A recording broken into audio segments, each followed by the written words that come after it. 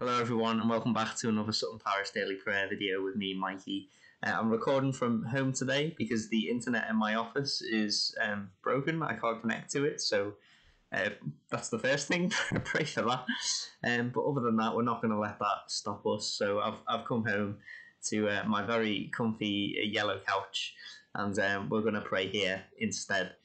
So uh, before we uh, kick off, we're going to be talking about um, offence today. Um, it's it's a it's quite a you know highly topical term, and and it's I'm not going to be talking about some of the things that we are offended by here in our um, own human uh, nature.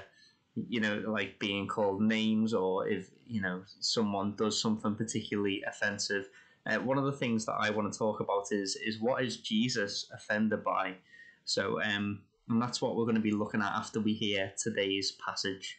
Matthew 11, verses 2 to 6. When John, who was in prison, heard about the deeds of the Messiah, he sent his disciples to ask him, Are you the one who is to come, or should we expect someone else? Jesus replied, Go back and report to John what you hear and see blind receive sight, the lame walk, those who have leprosy are cleansed, the deaf hear, the dead are raised, and the good news is proclaimed to the poor. Blessed is anyone who takes no offence at me.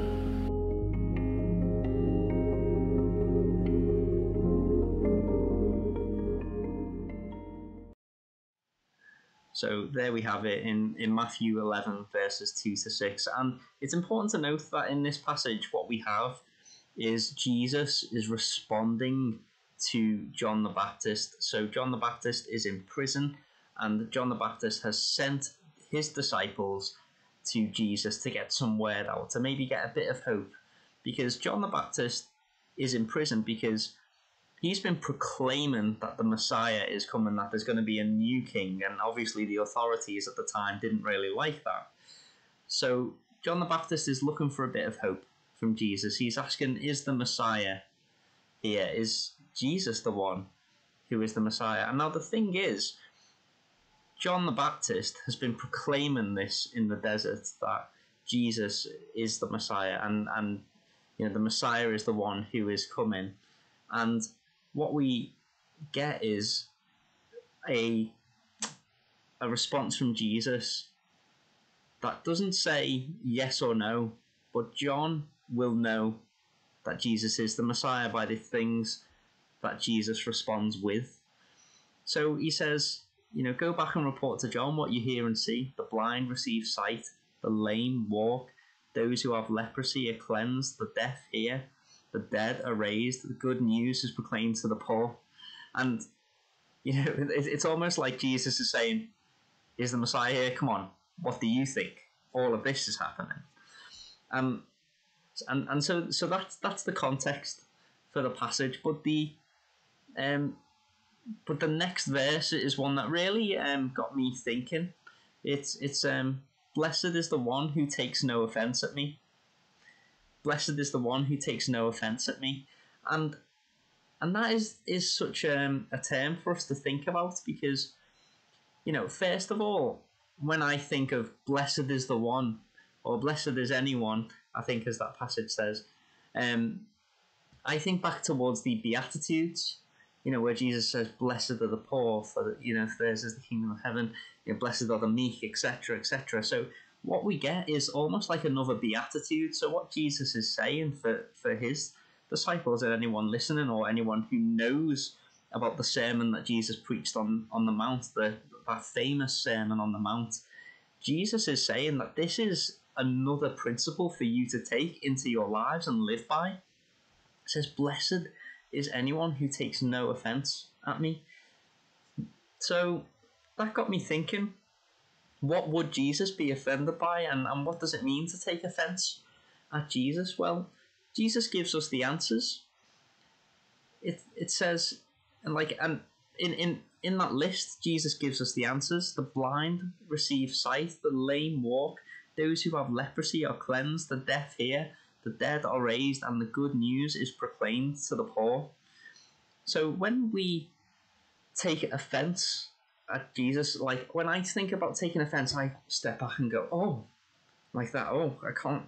Really, is that happening? I, I don't think so. I don't want. I don't want to be a part of that." So, it's an invitation from Jesus for us to to go into those areas where there is most need. So, and it doesn't even have to be like a physical cleansing, like let's say, for example, of leprosy. So, for example, for those who had leprosy in Jesus's time, they would have been considered ceremonial, ceremonially unclean. So that would have meant that um, they wouldn't be allowed anywhere near the temple. It meant that they wouldn't have been allowed to be part of regular society. You know, um, for the blind to receive sight, it, it would mean that you know that their their physical needs could, could be met. It, it, it would mean that um, you know they could have a bit of autonomy, that they they could have a bit of independence, or for, for, for the for the deaf to hear, or for people to hear the good news. It would be to give people freedom to live in. And it's not even just like the physical dead are raised. Like, don't think that what I'm preaching here at you is is for you to go and go and raise the dead. Although, you know, we can talk about that another time. But at the same time, Jesus recognizes that people are living in darkness, people are living in death, and the, the news that the Messiah comes to give is one that gives life. And so when John the Baptist asks Jesus what's going on, Jesus responds with, Don't worry, people are receiving life. You know, the blind are seeing, you know, people are being cleansed, you know, people are given a community again, people are um, gaining back some some of their you know self respect and um, you know, people are coming together in love, and and I think that that's such an important thing because to take offense at any of those things would be to take offense at Jesus, because that's what Jesus did, does. that, that is what Jesus does. You know, he, he is the God of reconciliation. He's the God of of raising people from death to life, and, and not just in a physical sense. You know, he he is the one who gives us purpose. He's the one who, who makes us see what's really important. He's the one who helps us to hear our brothers and sisters when they are in need. You know, and and blessed is the one who takes no offense at that.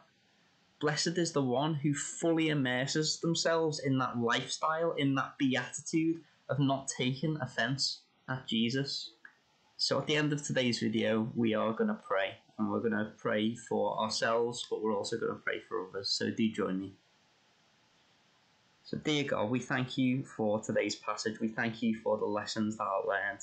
And we thank you for the beatitude, that principle of living by a, um, a code, which means that we are not offended by the things that you want to do in both our lives and the lives of everyone around us.